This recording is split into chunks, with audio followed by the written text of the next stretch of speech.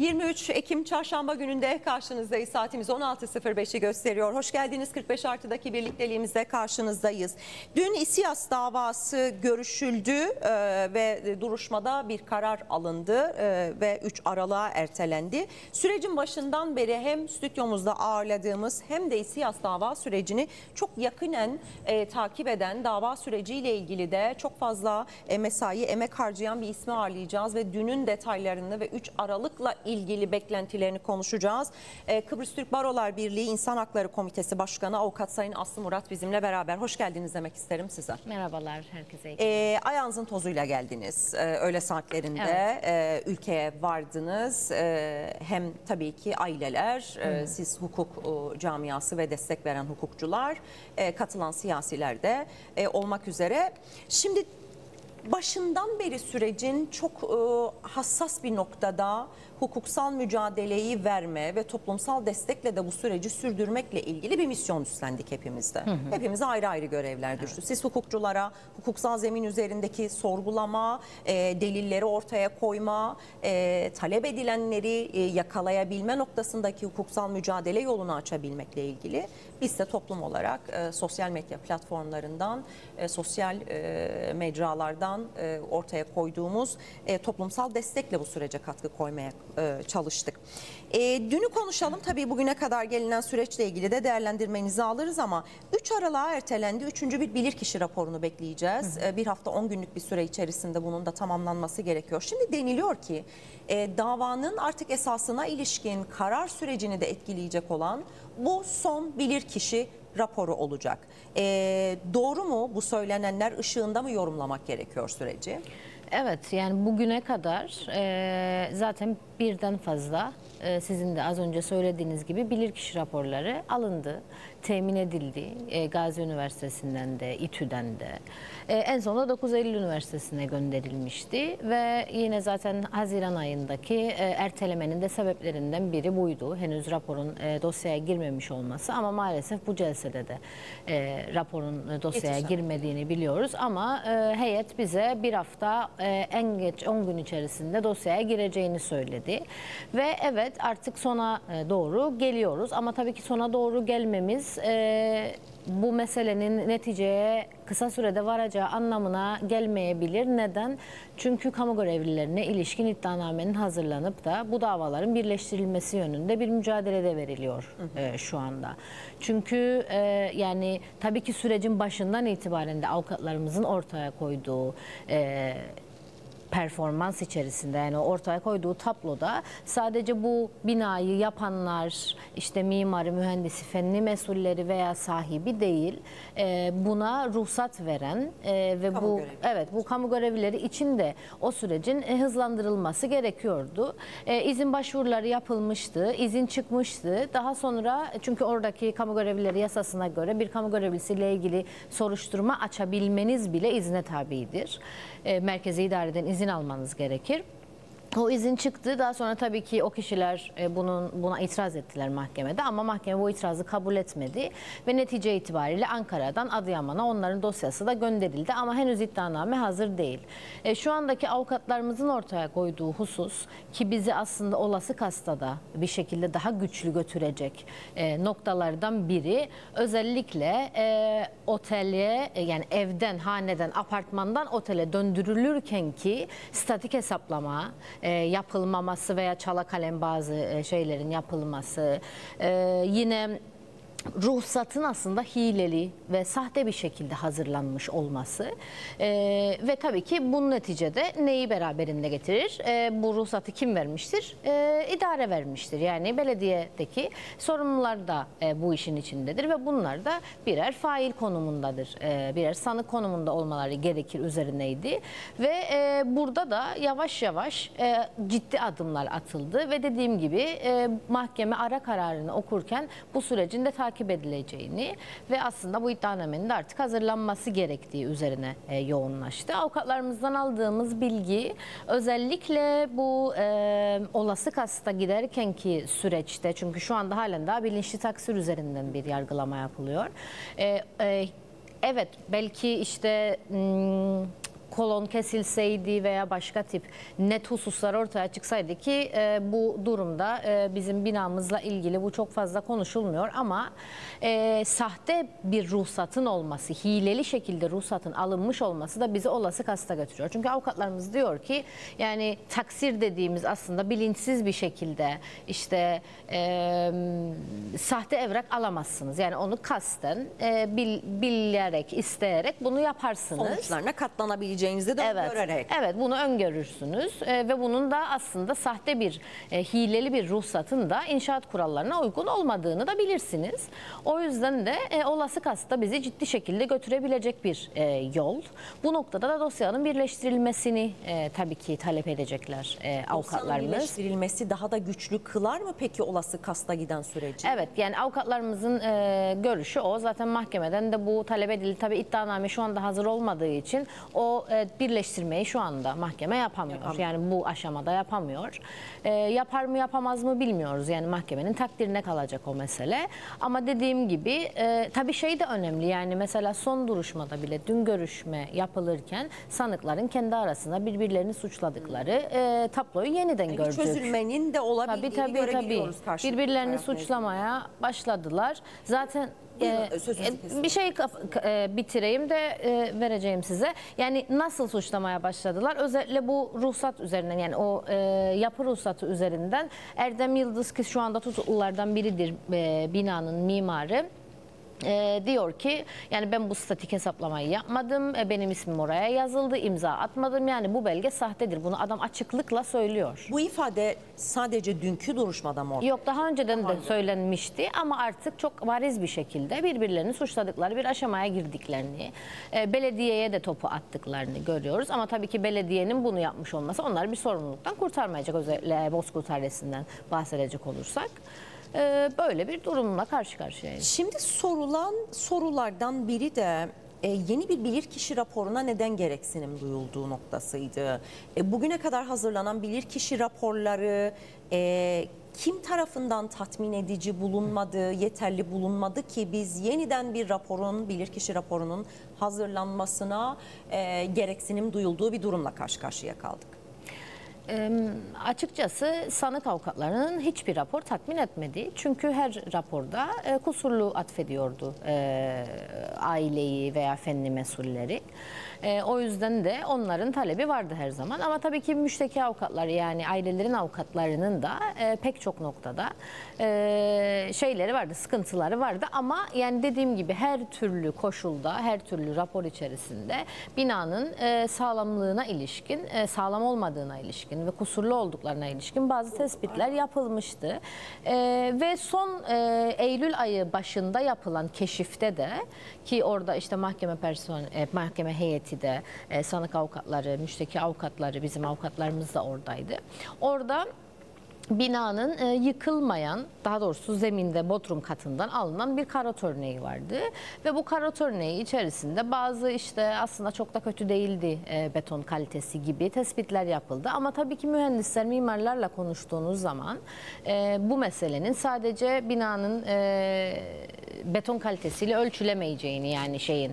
Çünkü neden neler ortaya çıktı tabii avukatlarımızın da söylediği hususlar. Mesela bir asansör meselesi ortaya çıktı. Yani normalde e, daha fazla asansörün yapıldığı yani normal planın ötesinde ve bir asansörün de binanın kaldırabilme kapasitesini ciddi şekilde Etkiledi. e, etkilediği yani çünkü e, netice itibariyle siz e, döşemeleri kırıp da bir şey oluk açıyorsunuz ve orada da o e, kaldırabilme kapasitesini azaltıyor binanın o gücü azaltıyor.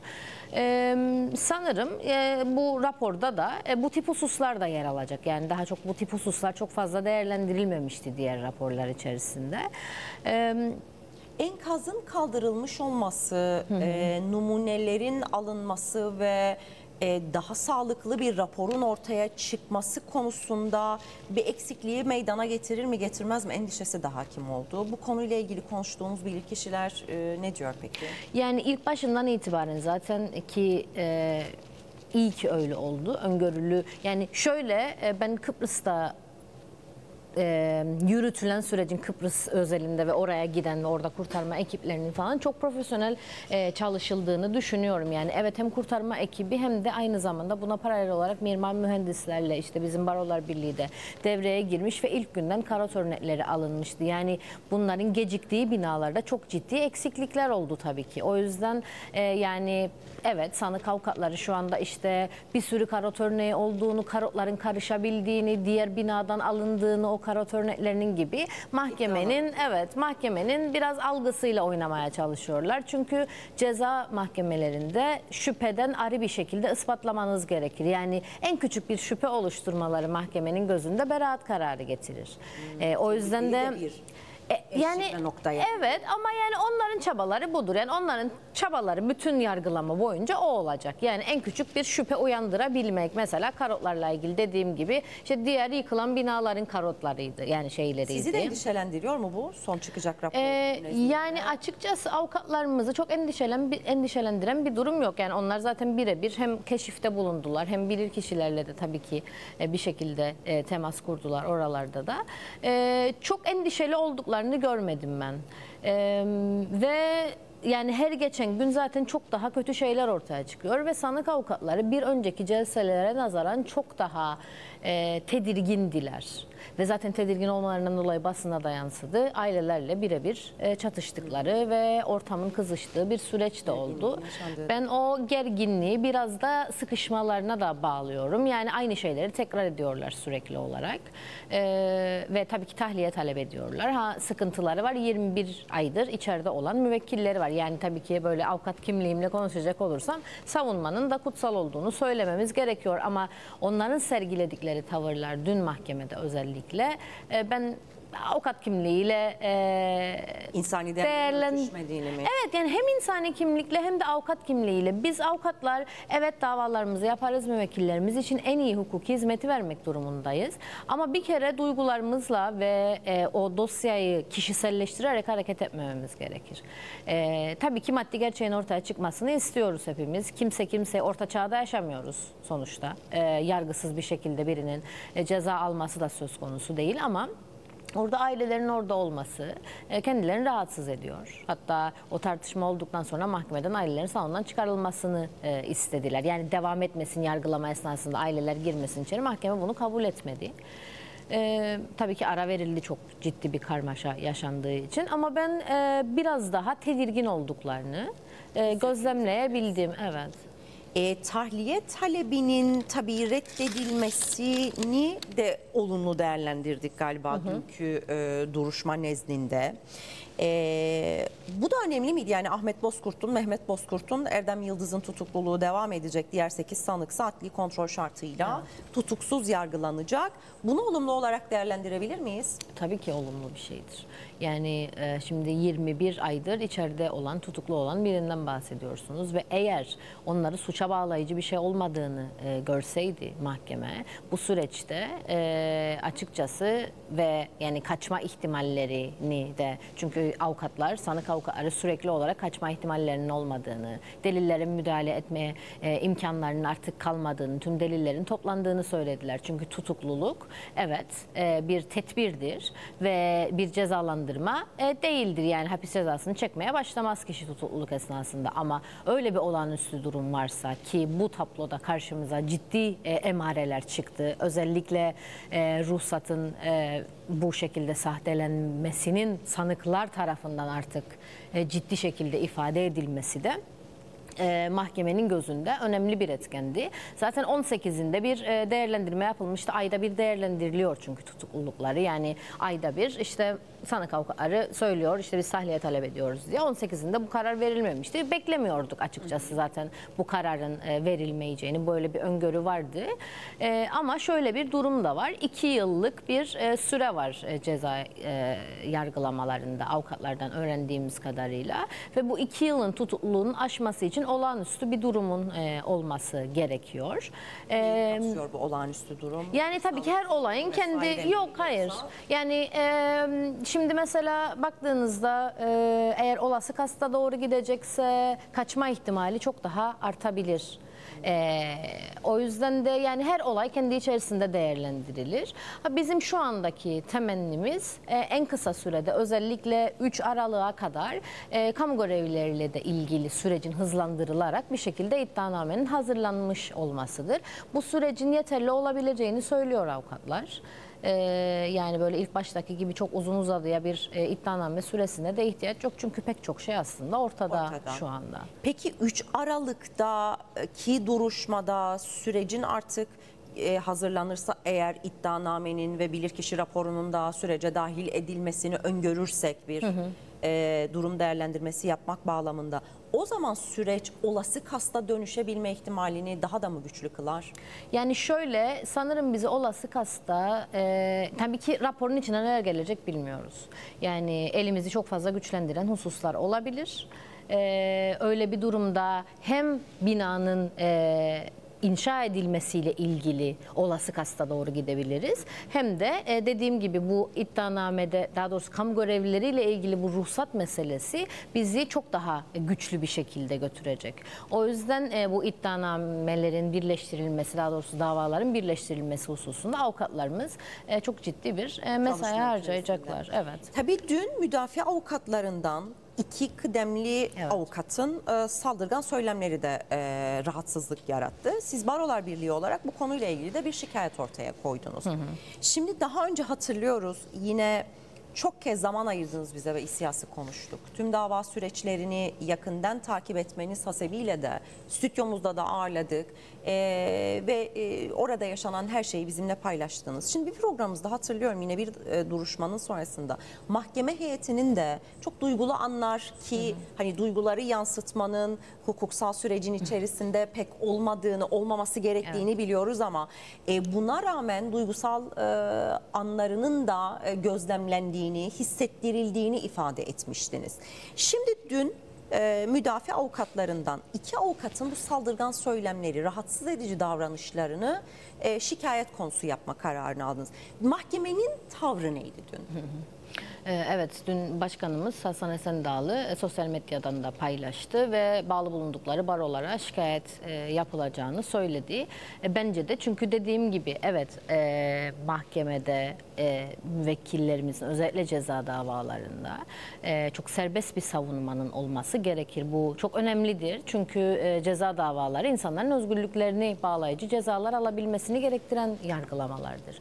Ama bu her yol mübahtır anlayışıyla hareket yani bizim bir de mesleki etik kurallarımız da vardır. Yani meslek etiği de vardır. Yani her meslekte vardır bu. Ama evet yani siz savunmanızı ortaya koyarsınız ama bunu etik kurallar çerçevesinde de yapmanız gerekir. Hele de e, yani müvek şeyiniz değil meslektaşınız değil karşınızdaki insanlar. Oradaki ailelere yönelik e, bu tip tavırlar takınılması meslek etiğiyle hiç bağdaşan hususlar değildir. Yani evet zaman zaman avukatların kendi arasında bu tip atışmalar oluyor mahkemede. Geçen celselerde de olmuştu. E, bunları daha bir e, kabul edilebilir algılayabilirim. Ama orada oturan ailelere ve izleyen kişilere yönelmesi hatta işte parmak sallayarak işte siz Türk mahkemelerinin karşısındasınız haddinizi bilin şeklinde e, cümleler kullanılması e, açıkçası beni hayal kırıklığına uğrattı. Yani ve dediğiniz gibi e, böyle çok iyi avukatlar olduğunu e, bildiğimiz e, e, insanlar böyle gencecik. Yani böyle şey de söylemek istemem. Hatta belki de genç bir insan hiç yapmaz bunu. O ayrı bir şeydir ama orada bilinçli bir hareket olduğunu da ben düşünüyorum. Yani oradaki ailelerin e, mahkeme üzerinde bir etkisi olduğunu düşünüyorlardır. E, ve bu etkinin kırılmasını istiyorlardır. Sonuçta buradan çok ciddi bir destek ve dayanışma grubu gidiyor oraya. Çok kalabalık bir grup. Sadece buradan değil rehber aileleri de orada. E, ve insanlar e, gerçekten sahip çıkıyorlar davalarına. Bu ee, sanırım e, sanıklar ve sanık avukatları tarafından da bir e, tedirginlik unsuru haline geldi. E, ve tabii ki büyük ihtimalle tahliye kararının gelmeyeceğini düşündükleri için de bir baskı olabilir üstlerinde avukatların bilmiyorum ama ben dünkü tavırlarını hiçbir şekilde meşrulaştıracak veya anlamlı bir e, kılığa büründürecek bir noktada olduklarını düşünmüyorum. Peki sizin şikayetiniz nasıl sonuca yol açar? Yani e, tabii ki şöyle bizim de öyle bir durumda şikayet olduğunda bir meslektaşımızla ilgili e, kurallar vardır. O kurallara göre eğer bir disiplin suçu teşkil ediyorsa yaptıkları e, yargılama yapılır. Yani büyük ihtimalle onlarda da benzer süreçler vardır. E, ben mesleki etik açısından doğru, Doğru olmadığını düşünüyorum. Peki devam edeceğiz ama haber merkezimiz bir son dakika haberi olarak paylaşmış. Ee, Türk Havacılık ve Uzay Sanayi Anonim Şirketi'nin Havacılık Bulvarı Kahraman Kazan Ankara yerleşkesindeki giriş kapısında bir patlama, bir terör e, saldırısı olduğu düşünülen bir durum yaşandığıyla ilgili e, güvenlik nedeniyle personelin sığınaklara yönlendirildiği ifade edildi. Türkiye İçişleri Bakanı'nın da bir açıklaması var. E, TUSAŞ Ankara Kahraman e, Kazan tesislerine yönelik terör saldırısı gerçekleşmiştir. Saldırı sonrası maalesef şehit ve yaralılarımız bulunmaktadır diye bu son dakika bilgisini de paylaşmış olalım. Türk Havacılık ve Uzay Sanayi'nin e, Havacılık Bulvarı Kahraman Kazan Ankara yerleşkesine bir terör saldırısı düzenlendi. E, şehitler var e, ve yaralılar var diyor İçişleri Bakanı da. E, bunu da bir son dakika haberi olarak paylaşmış olalım maalesef ki. E, şimdi dün Şampiyon Melekleri Yaşatma Derneği Başkanı Ruşen Karakaya. Tabii aileler e, acıyı yaşarken çok ciddi bir enerji, eforla da e, çok inançla da e, bu dava sürecine hazırlık e, yapmaya, kamuoyunu da e, bu konuyla ilgili hareketli tutmaya çalışıyor. Dün Sayın Ruşen Karakaya'nın bir açıklaması oldu. Bu dava yani bizim kaybettiğimiz çocuklarımız Türkiye'nin de geleceğini kurtaracak dedi. Bunu biraz konuşalım. Yani hep emsal dediğimiz noktaya işaret ediyor. Ee, nedir yorumunuz, değerlendirmeniz? Ee, beni zaten yani Ruşen Hanım başta olmak üzere derneğin başkanıdır. Ailelerin hepsinin e, tavır ve davranışları birer ders oldu benim için bu Müthiş bir süreçte. olgunluk. Yani rağmen- evet. Yani zaten onu söylediler. Ya dün mahkemede de o çatışmanın içinde bile ben artık bu davanın bitmesini ve yasımı yaşamak istiyorum diyor insanlar. Yani yaslarını bile şu anda halen daha tutamıyorlar. Çünkü bir adalet mücadelesi vermek durumundalar, güçlü durmak durumundalar. Ee, ve ben her bir e, tavırlarının gerçekten o yüzden e, Biraz da bu yüzden sanırım dün meslektaşlarımın tavırlarını kabul edilmez ve e, şey buldum, ahır buldum. E, bence çok önemli bir vurgu yaptı Ruşen Hanım'ın. E, çünkü maalesef ve maalesef Türkiye bir deprem coğrafyası ve yıllar içinde benzer acılar sürekli tekrarlandı. Dejavu gibi insanlar yakınlarını kaybettiler. Yani evler tabii ki tartışma konusu bile olmaz ama yani hanelerini kaybettiler, daha da yoksullaştılar. E, pek çok can kaybı yaşandı. Ama yine yine halen daha bu tip binalar yapılabiliyorsa bu cesaret varsa bu cezasızlıktan kaynaklanır. Bunu çok net bir şekilde ortaya koymak gerekiyor. Evet yani sadece şunu söyleyemeyiz işte yargılanmaktan mı korkacaklar? Hayır bu değil tabii ki ama e, bir kere bir e, böyle bir davranışın neticesinde bir ceza alınmazsa gerçek bir ceza yani adil bir sonuçla karşılaşılmazsa o zaman e, ne ne olacak ki 3-5 yaş 3-5 yıl yatar çıkarım noktasına gelebilmesi insanların ki maalesef şu anda Kadına yönelik şiddet ve çocuk istismarı konusunda da çok tartışılıyor e, Türkiye bu mesele. Bu cezasızlık pek çok noktada adalete olan inancı da, insan hayatına olan inancı yani ve o değeri de e, yitirmeye neden oluyor. O yüzden de cezasızlık e, insan hakları alanında çok fazla konuşuruz bunu. En temel insan hakkı ihlallerinden biridir. Yani bir suçun karşılığı ki böyle bir durumdaki bir fiilin karşılığı e, gerektiği gibi cezalandırılmazsa bu yeniden tekrarlar. Çünkü ceza hukukunun en temel prensipleri e, hem size yani bir suç işleyen birine bunun bir karşılığı var demektir. Yani devlet orada neyi önler? Bireylerin birbirlerine karşı e, öç almasını önler. Kısasa kısasa önler aslında. Yani modern cezalandırma sistemi böyle ortaya çıkmıştır. Devlete ne der? Böyle bir kamu düzenini bozan biri var. Sen kendi elinle bu cezayı vereceksin ki adalet sağlansın kamu düzeni açısından. Ve kamuya da bir e, işaret verir o cezayı verirken. Eğer siz de bunu yaparsanız aynı şekilde cezalandırılacaksınız ve bir zihniyet inşa edilir aslında. Yani bunun insanların hayatına mal olduğunu e, her ne kadar rant elde etmiş olsanız da daha fazla zengin yani ne, ne kadar zenginleşebilirlerse artık bu inşaatlarla bilmiyorum ama e, bir kazanç elde ettiğinizi düşünseniz de insan hayatıyla oynuyorsunuz. En değerli olaylardan biri sonuçta en değerli değerlerden biri. E, o yüzden ben çok önemli buluyorum e, ki siyaset böyle konuşuldu Türkiye'de ve çok ciddi takip edilen yani orada Türkiye basınından çok fazla e, basın mensubu vardı takip eden süreci. CHP'den sanırım yetkililer vardı bi- görebildiğim kadarıyla. Ee, ve tabii ki Adana'daki o dava da bir şekilde olası kasla neticelenen e, bina yıkılmasındaki e, karar da bence e, emsal nitelikli. Evet umutlandırdı ama tabii ki dediğim gibi her binanın da kendine has koşulları var ama e, evet bir deprem e, davasında olası kasla neticelenebilir algısı yerleşti. Çünkü bugüne kadar oluşan algı ya zaten evet olası kas var ceza e, sistemimizde ama biz deprem yargılamalarında bugüne kadar yasa değiştikten sonraki depremlerde de e, bilinçli taksiri uyguluyoruz diye bir algı vardı. Onu da kırmaya yardımcı oldu olası kast. E, ki olası kastın da cezalandırması ağır bir cezalandırmadır bilinçli taksire göre.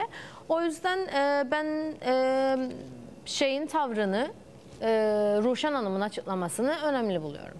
Ee, az sonra bir bağlantımız olacak. Ankara'ya. Ee, az önce aktardığımız terör saldırısıyla ilgili Ankara muhabirimiz e, bize e, son durumu aktaracak. Ne demiştik? TUSAŞ tesislerinde bir terör saldırısı e, vardı. Ankara muhabirimiz e, şu anda bize bu son gelişmeleri aktaracak. Öncelikle geçmiş olsun diyelim. Tabii ki İçişleri Bakanı açıkladı. Şehitlerimiz ve yaralılarımız var diye. E, nedir e, oradaki durum? E, gerçekleşen terör saldırısı ile ilgili bilgileri almak isteriz. Evet Baykan, e, Türkiye'nin savunma sanayi alanındaki e, tek büyük kompleksi, iki tek büyük kompleksi bu Türkiye uzaycılık ve e, uzay ve havacılık sanayi bölgesi. Saat 16 sıralarında önce patlama sesi duyuldu Nizamiye girişinde ardından da silah sesleri duyuldu ve çatışma sesleri halen daha devam ediyor ve çalışan mühendisler ve diğer çalışanlar sığınaklara indirildi. Bölgeye çok sayıda emniyet e, kuvvetleri sevk edildi, sağlık, itfaiye ve AFAD e, ekipleri sevk edildi. Az önce gi- girişte de bahsettiğim gibi çok büyük bir e, kompleks ve çok büyük bir tesis. Yaklaşık 17 bin personel çalışıyor bu komplekste ve bunun e, kompleksin yanında da e, Mürtet Hava Üssü bulunuyor. Eski adıyla Akıncılar Hava Üssü bulunuyor. E, Hava Grup Komutanlığı bulunuyor. Dolayısıyla e, çok stratejik bölge. E, Ankara'nın dışında olmasına rağmen etrafında savunma sanayi alanında çok sayıda tesisin bulunduğu bir bölge. Sen de giriş- girişte aktardığın gibi İçişleri Bakanı Ali Yerlikaya sosyal medya hesabından açıklama yaptı. Maalesef şehitlerimiz ve yaralarımız var dedi. E, ve e, resmi gelişmelerden kamuoyunu bilgilendireceklerini söyledi. Ali Yerlikaya ve resmi kaynaklardan yapılan açıklamaları dikkate almalarını da e, kamuoyundan e, istedi Baykan. Dediğim gibi e, şu anda çatışma devam ediyor. E, dolayısıyla e, şu an için şu an aktaracaklarım bunlar. Bir de E, şunu eklemek isterim. E, devam ediyor ve e, çatışmalar şu anda devam ediyor. E, saldırının da vardiya değişimi sırasında olduğu bilgisi e, geldi. E, dolayısıyla şu an için e, saat 16 sularında yapılan saldırının şu an için devam ettiğini söyleyebilirim. Çatışmanın devam ettiğini söyleyebilirim Baykan. Bülent terör saldırısını kimin gerçekleştirdiğine dair bir bilgi, bir duyum var mı peki elinizde? Şu an şu an için e, o konuyla ilgili olarak herhangi bir e, paylaşım gelmedi resmi kaynaklardan. E, ama dediğim gibi e, henüz daha devam ettiği için e, çatışma devam ettiği için net bir bilgi almak şu an için mümkün değil Baykan. Peki çok teşekkür ederiz. Geçmiş olsun diyelim. E, hayatını kaybedenlere de başsağlığı dileyelim. Yine senden bilgileri almaya devam edeceğiz. Çok teşekkür ederiz. E, ciddi bir durumla karşı karşıyayız. E, 16'da önce patlama ve ardından silah sesleri, e, çatışma sesleri çıkıyor ve saatimiz 16.34 yaklaşık 34 dakikadır da çatışmaların devam ettiğine ilişkin e, Ankara muhabirimizin aktardığı bilgiler var. 17 bin kişinin çalıştığı bir e, s- yerden söz ediyoruz. Dolayısıyla e, durumun e, ciddiyeti, önemi e, çıkabilecek e, kötü tabloda e, biraz ürkütücü e, görülüyor. Stratejik konumu dediği e, bölgenin de. Dolayısıyla bu çatışmanın hala devam ediyor olması da son derece e, önemli bir gelişme olarak paylaşılmalı. Eklemek Yani istediğiniz var mı sizin de? e, çok çok üzücü. Yani insanın söyleyebileceği Kelime yok. Ee, yani ciddi acılar yaşanıyor Türkiye coğrafyasında. Ee, çok yakınımızda bir coğrafya. Ee, ve yani böyle yakından biz tabii Adıyaman'daydık ama e, biraz takip etmeye çalıştım. Barış'ın konuşulmaya başlandığı bir e, döneme denk gelmesi de çok ciddi soru işaretleri uyandırıyor insanın kafasında. Ee, yani ki bence Türkiye'de gerçekten bir e, barışa ve bir düzene ihtiyaç var. E, Umarım ve umarım e, çok daha büyümeden, tabii ki yani can kayıpları var onların hesabı eminim sorulacaktır da büyümeden bu barış süreci ne belki evrilir. Çünkü yani çok rastlantı olduğunu ben düşünmüyorum tabii şu anda böyle kocaman cümleler kurmak. E, Yakın coğrafyanın e, yaşadıklarıyla da mı ilişkilendiriliyor? O da olabilir veya kendi ülke içinde de zaten biliyorsunuz yani birkaç gündür e, Türkiye içerisinde bir yeni bir barış süreci acaba e, bir açılım süreci olabilir mi üzerinden konuşuluyordu ve tabii ki çok daha dibimizde de canlı kanlı bir savaş da var. E, yani burayı, buraları, Orta Doğu'yu, Türkiye'yi, Kıbrıs'ı barış kurtarabilir ancak e, çok daha fazla çatışmanın olmamasını diliyorum. E, umarım çok daha büyümez. Peki bir kez daha tekrar edelim. Ee, TUSAŞ tesislerine bir terör saldırısı düzenlendi. Türk Havacılık ve Uzay Sanayi Anonim Şirketi'nin e, e, Ankara'da bulunan yerleşkesinde önce giriş kapısında saat 16 itibariyle patlama ve silah sesleri, çatışma sesleri çıktı. Az önce arkadaşımız e, Ankara muhabirimiz Bülent e, yeni bilgileri paylaştı. E, iki dakika oldu kendisiyle bağlantıyı noktalandırdığımızdan beri yani 34'tü 16 34'tü. O anda da çatışmaların devam ettiğini aktardı. Çok stratejik konumda bir yer olduğunu 17 bin kişinin bu binada çalıştığını ve çevresinde de yine buna bağlı yapıların oluştuğunu da söyledi. Çalışanlar şu anda sığınaklara indiriliyor ve çatışma seslerinin de çatışmaların devam ettiği bilgisi de aktarıldı. Yine gelişmeleri aktaracağız. Peki İSİAS'a dönelim. Yavaş yavaş programı da sona doğru taşıyacağız. Peki şimdi 3 Aralık'a giden süreçte gerek sizin hukukçuların gerekse de kamuoyunun yapması gereken başka e, neler bulunuyor? Bu dava sürecine çok yoğun mesai harcadınız biliyoruz elbette ama e, özellikle bilirkişi raporunun e, bizim beklentimizin dışında bir e, yani ikinci bir B planı olarak tanımlayabileceğimiz aksi diğer e, bilirkişi raporlarını e, desteklemeyen bir neticeyle sonuçlanması nasıl bir yol haritasına iter bizi? Yani tabii ki onu avukatlarımız yine davadan sonra yaptıkları görüşmede bir e, rapor çıktıktan sonra da bir e, görüşme, bir toplantı yapacaklar ve eminim e, ayrıca başka bir yol haritası da çıkacaktır. Ama dediğim gibi e, program başında da e, kötü bir tabloyla karşılaşmayacağımız e, Öngörüsü ve öngörüsüne sahipler. E, ben bundan sonraki sürecin çok daha hareketli gideceğini düşünüyorum.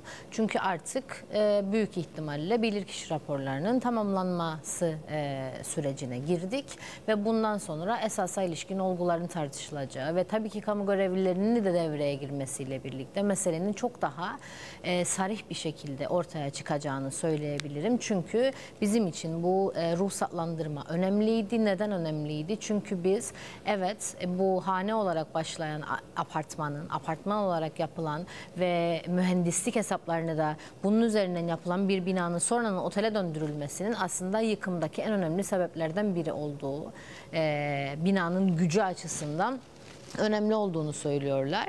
O yüzden sanırım e, topluma da evet biraz daha şey oldu süreç. E, biraz sanki sönümlendi veya toplumun gündeminden e, kalktı gibi ama tabii ki dava günlerinde yine aynı hassasiyet e, gerçekleşiyor. Ben biraz daha yüksek bir sesle bundan sonraki süreçte daha sıkı takip edilerek ailelerin daha da güçlü olabilmelerine yardımcı olmamız gerektiğini düşünüyorum. Peki çok teşekkür ederim. Ben Koymuş teşekkür olduğunuz ederim. katkı için. Ee, yine e, size e, merak ettiklerimizi dava süreciyle ilgili durumu da sormaya devam edeceğiz. Oradaki bilgileri almaya da devam edeceğiz. 3 Aralık'ta neticelenir mi? Yok hayır neticelenmez. Bitmez yani. Bitmez. Evet. Peki. Çok teşekkür ederim. Kolay gelsin diyelim teşekkür size. ederim. Ee, Sayın e, Aslı Murat'la beraberdik. E, İSİAS dava sürecini yakından takip eden bir e, hukukçu. E, Adıyaman'daydılar. Dünkü duruşmayı yerinde izlediler. Bugün adaya gelir gelmez de programımıza katılarak görüşlerini paylaştı. E, kendisine teşekkür edelim. Yayınımıza nokta koymadan önce az önceki haberi bir kez daha tekrar edelim. E, Türk Havacılık ve Uzay Sanayi Anonim Şirketi'nin Havacılık Bulvarı Kahraman Kazan Ankara yerleşkesindeki giriş kapısında e, bir patlama meydana geldi. Ardından çatışma sesleri yükseldi. Güvenlik güçleri şu anda bölgeye e, gitmekte, gitti ve gitmeye devam ediyor. E, güvenlik sebebiyle personel sığınaklara yerleştirildi. Türkiye İçişleri Bakanı Ali Yerlikaya açıkladı. Türk Havacılık ve Uzay Sanayi Anonim Şirketi'nde tesislerine yönelik bir terör saldırısı yaşandı. E, saldırı sonrası da maalesef şehit ve e, yaralılarımız var dedi. Ankara muhabirimiz Bülent'ten de aldık. Son bilgileri az önce aktarmıştık sizlere. Kendisiyle e, yapmış olduğumuz bağlantıda e, 16 itibariyle bu saldırının terör saldırısının gerçekleştiğini ifade etti. E, 16.34'lü biz konuşurken çatışmalar hala devam ediyor dedi.